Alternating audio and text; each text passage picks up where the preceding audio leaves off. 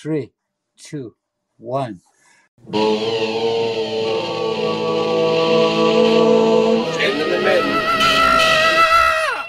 Sorry. Why do you look the most comfortable out of all of Uh, us? there's another fucking chair right over there. but I can't move because I can't bump. How can I- I feel great? We spoke about this. Yeah. Get comfortable. Well, you know, you can be my Peter. You can be the rock of the church. You could be my- You know, What? Peter was the rock. Jesus said the one that the church should be built on, and it's because not because of anything about his strength. He uh he couldn't even kill a guy when he came at him. Ah, I just cut his ear off, you know. And then Jesus heals the ear, and he's like, "What am I even here for?" But the thing is, Jesus would tell stories and parables that way. You know, the people that were smart enough, he wouldn't mind having around.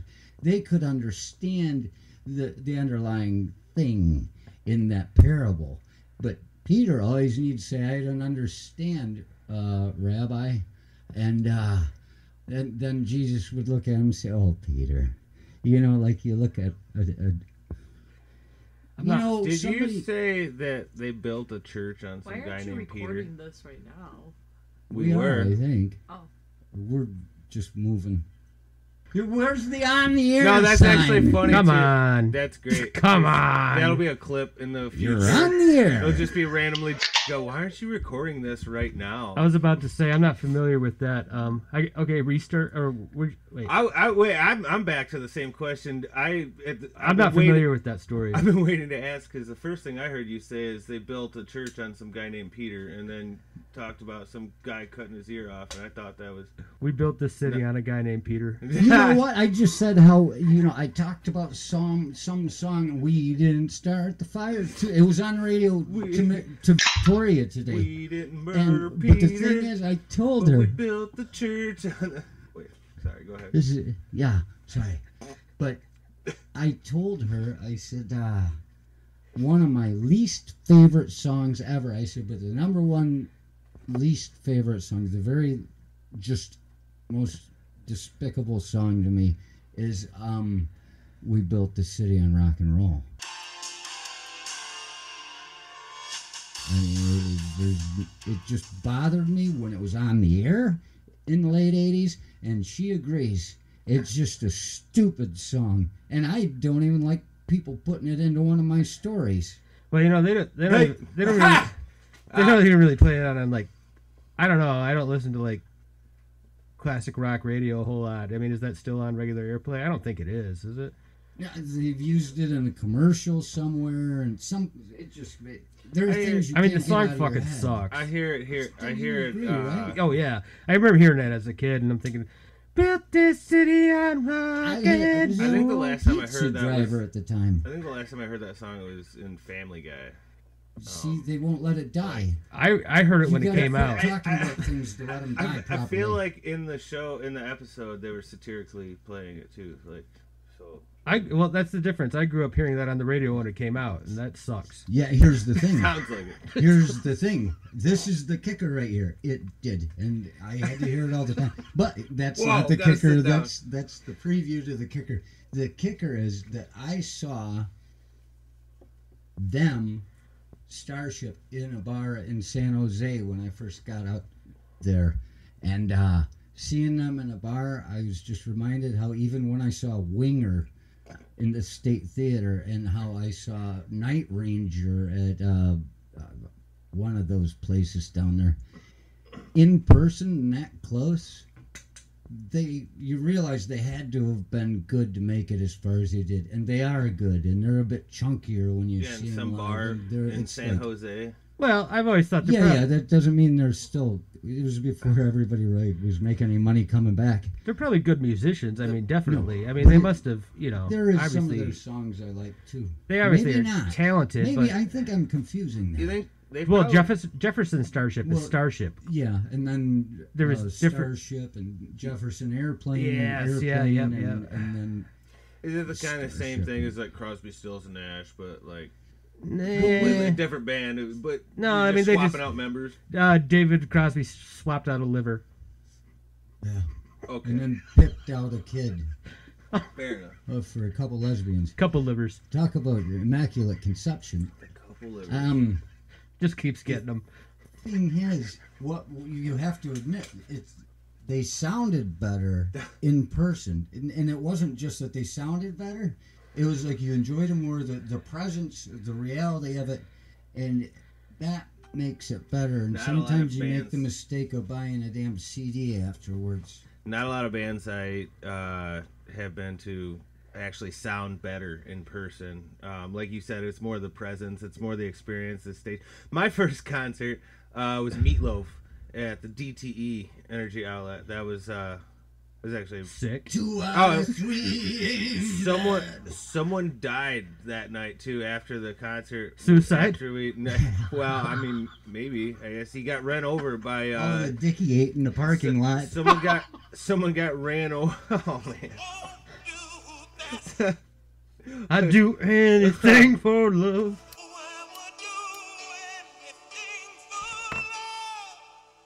oh, I might. Well, yeah, I guess. Nobody was looking.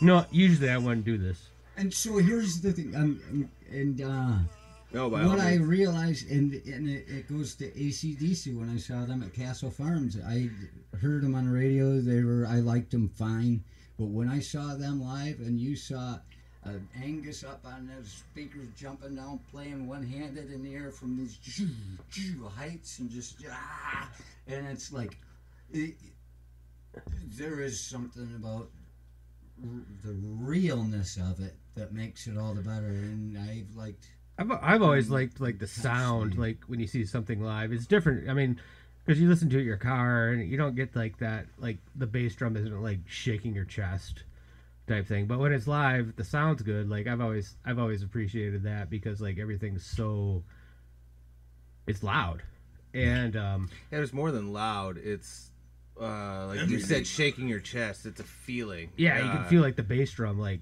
yeah, it just hits you like a wall. I miss that. And sometimes you just become your eyeballs sitting there on the lawn watching fucking Black Sabbath and they're doing Electric Frankenstein or Funeral, whatever it is, and the guy next to you just asked you, you, you want to hit this, and you're in the, and it's not legal.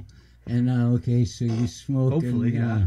you're both sitting there, and it's just like you're nothing but floating eyes. It's that's the reality of it. Tool, I've got this scar right here. The first time I got that scar At was a at Tool a Tool concert? concert. I Oh, was God. going through the. I'm the guy that he's, hey, get that fucking guy out of there, but he didn't. And um, going through the crowd when they're all doing their little walking around in circles, it's not really a mosh. It's, it's yeah, it's a Tool cho- concert. It's a choreography. no, anything, any kind of mosh pit now where people are walking around with their arms like hacksaw Jim Duggan. going, Oh yeah, right. It's like when we played shows, they're like, "Everyone's like, back up! I gotta do some windmills like that." Kind of like, No, no, I, Nobody- he's, he's talking like Those- like a circle pit, but everybody's just kind of like hiking around in like a Yeah. circle, like not a like skank. And I go skank backwards or whatever No, call these- that. Like, not like wall of death stuff where like I mean I've been to shows like even like township hall shows where it's like it can get frightening. Well, I'd go against it, You and I was didn't- going through it with head down, going rah, cruising through this damn thing, and I, somebody I caught an elbow, and I had blood coming all out of there, and, and I didn't know what I looked like until I left, and I stopped to take a pee, and I was just looked like I've been in a fucking mass murder. because you don't, it doesn't matter. You're in the moment. You're just But uh, but the oh that's the thing I was getting at was in the Tool concert. I I felt just something whoa that something about it. It was it was what I would call spiritual, and I was sober, and uh, I it was there was some kind of experience. No, Yeah. it is it is interesting being a crowd like that where everybody starts moving and things like that. I've always you know thought that was a uh, Geez, we should get some people to go up to the Capitol. it's energy. Lowercase, please. We don't say capital around here. I, lowercase. I, u- I said with an A, money, capital. You know, there's a difference between We should the get some money, that's what- capital is Oh, I with an it. O. Yeah, but you, circle pit. Um, was he, somebody in another country just donated me money? I, I, they said this something they mistook me for. Um, So I Oh, bought man. I forgot what we were even talking about. I've uh, Uh, no, the- I've always I've oh, always the liked concerts and stuff just like that. Like the idea of The how music. much something really is I- in person. I had I a miss- good Hey, there's another thing. Good to see you guys. Didn't we just say nice Yeah, to yeah, see good to somebody see you. in Yeah, we're- I guess we're- we Hell yeah, are. yeah, we're in person. you, I guess we uh, we're Yeah. not doing this through um, conference call tonight. Uh, Should we address it? we're all in the same room. Should we address it? What? Go ahead. Oh yeah. I should. Oh fuck! Did I kick the cord? Break time. We can listen to that. Arch Archibald Elderquist.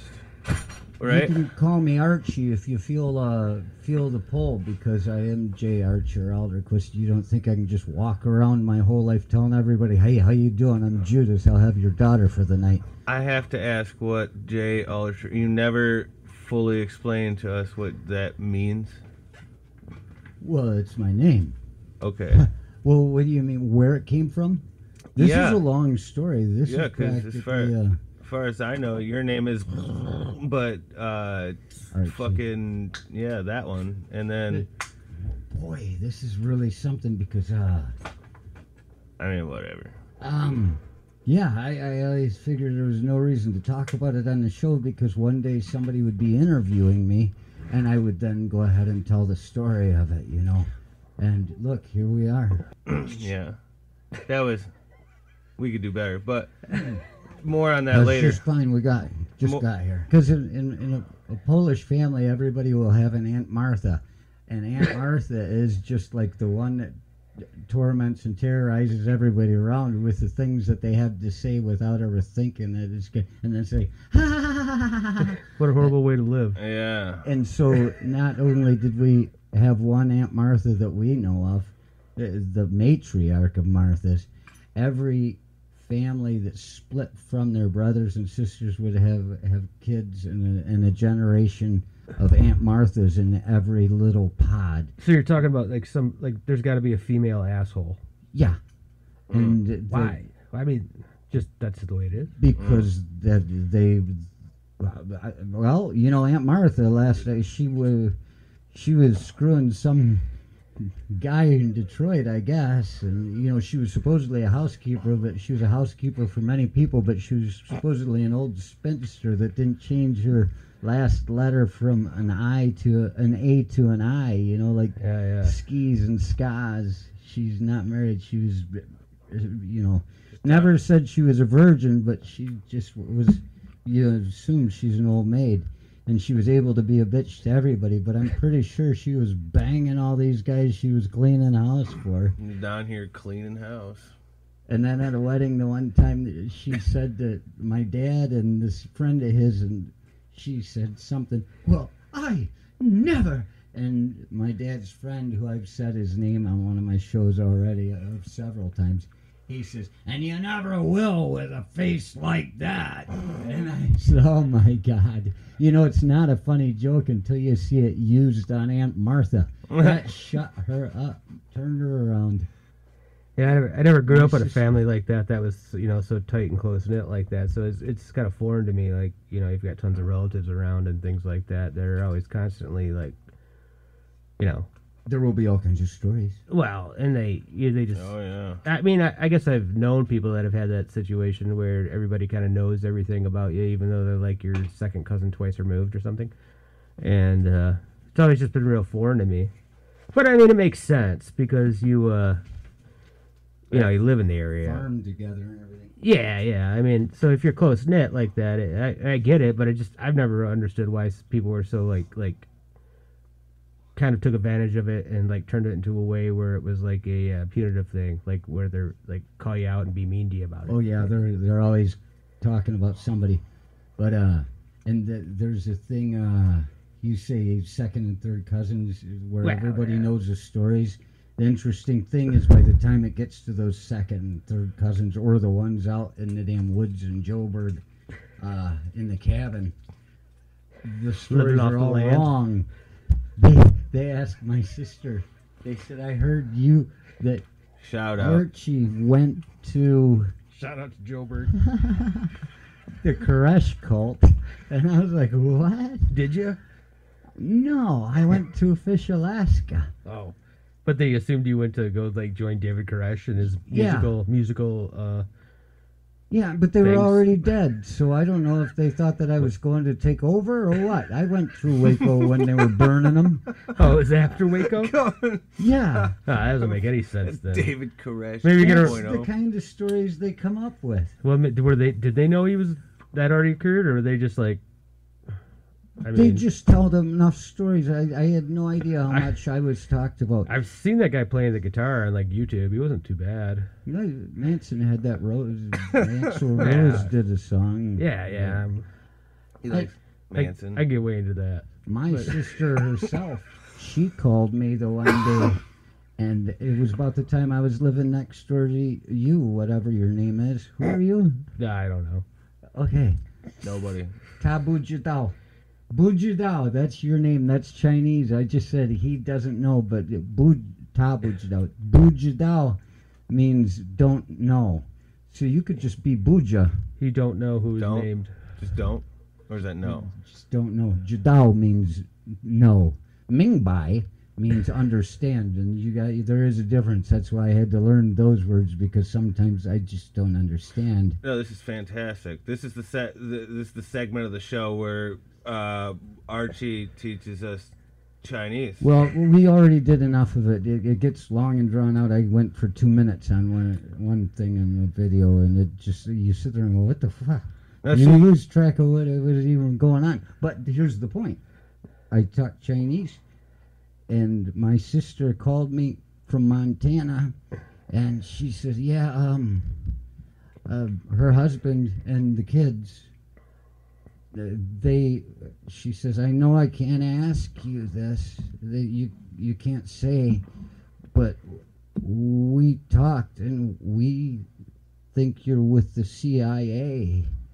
And I was like, well, that's interesting. But why? Well, you never because tell us I if you come were. and I go and I come back. I'm learning languages, and you know, there's, I was pretty.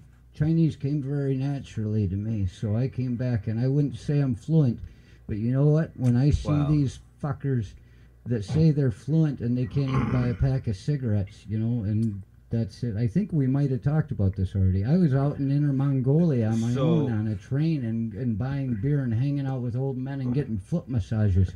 What kind of smokes do they sell in China? Yeah. Shitty. You can spend a whole lot of money, hundred yuan. Just like on the ones pack. here.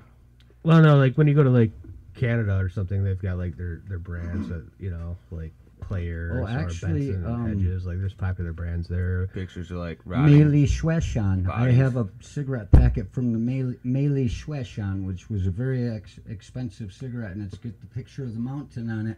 And that's the mountain I, I trekked around that was supposed to be a sacred pilgrimage, but it that's uh, that is one brand that's well known. They sell them in 25 packs or Twenty.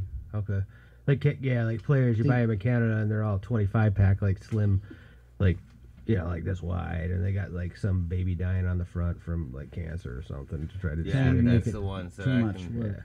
That's the one that I've uh, seen before. Does it have a picture of a cancer that's taking a child form and strangling the baby that's getting It's killed by cancer? It's something like that. You know, I don't. I haven't been back to Canada in at least probably a decade. They wouldn't Um, let me the last time I tried. I, you know, that's the reason why I haven't tried because I'm afraid of getting turned away They at the say it's border. like five years. I went up through the Soo. I was going, but that's yeah.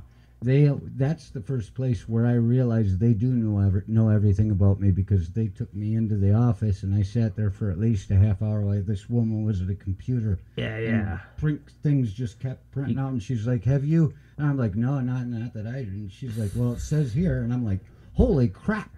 There was a whole line of stuff. I said, "These." So you went to the, the do know." immigration office. You didn't go Yeah. into the pole barn where they like tear, tear shake you No, down. they didn't. Uh, wait, where they don't what? shake you down. I mean, where they like tear your vehicle apart. No, they didn't do that at all.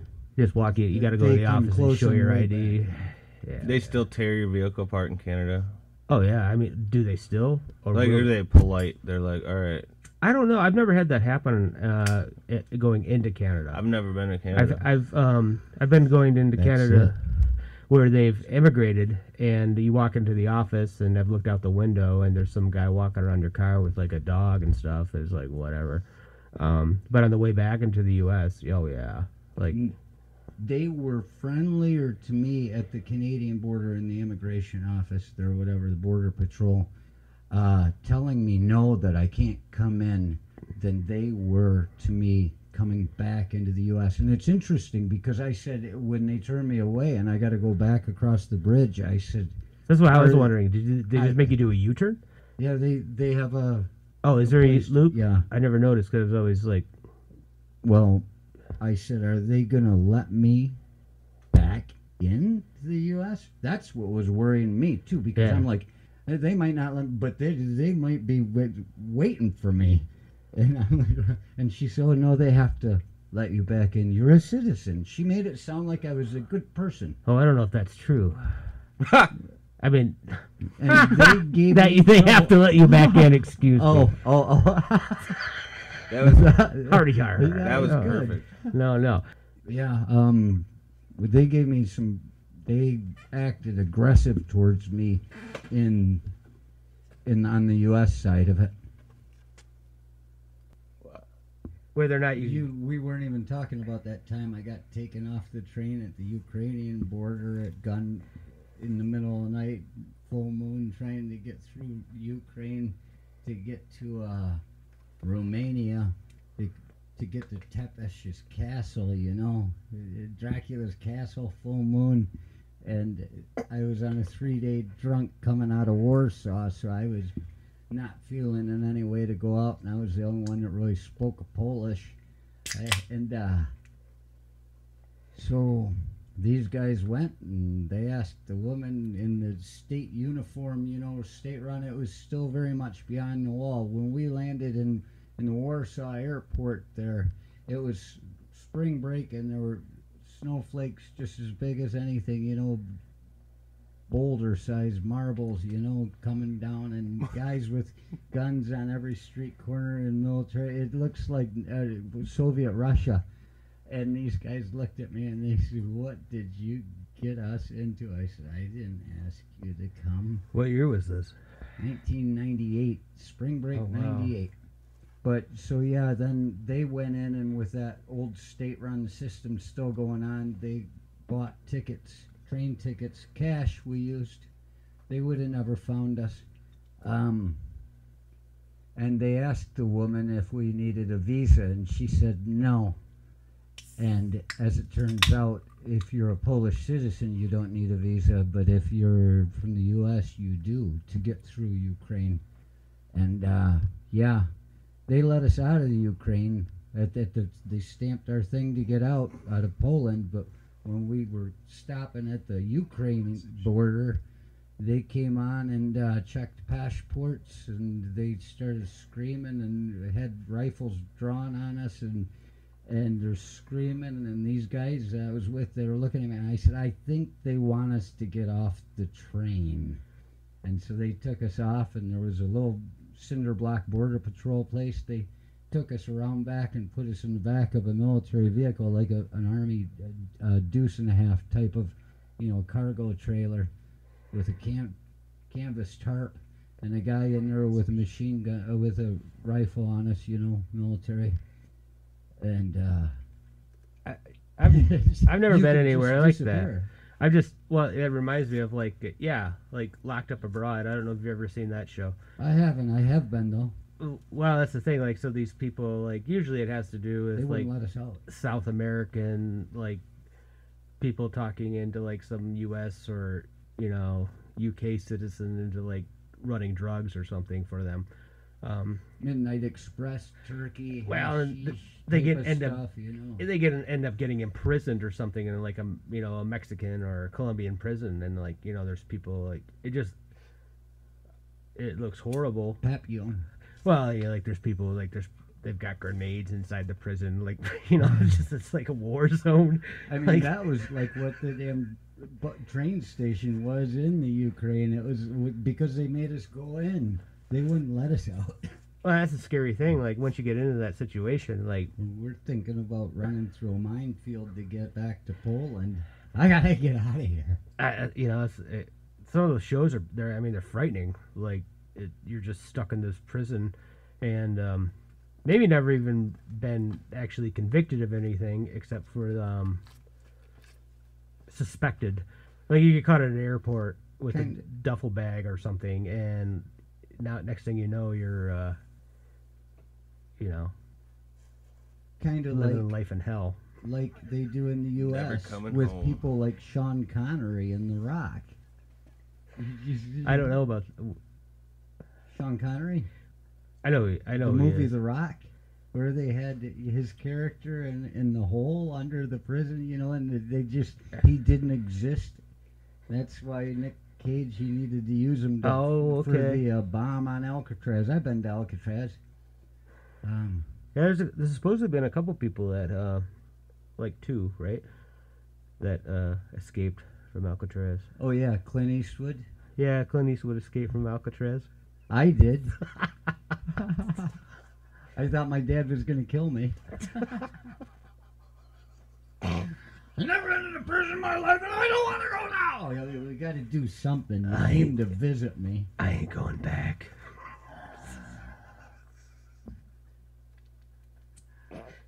Better take me alive, copper. Yeah. Ah. Good spot to stop for a second.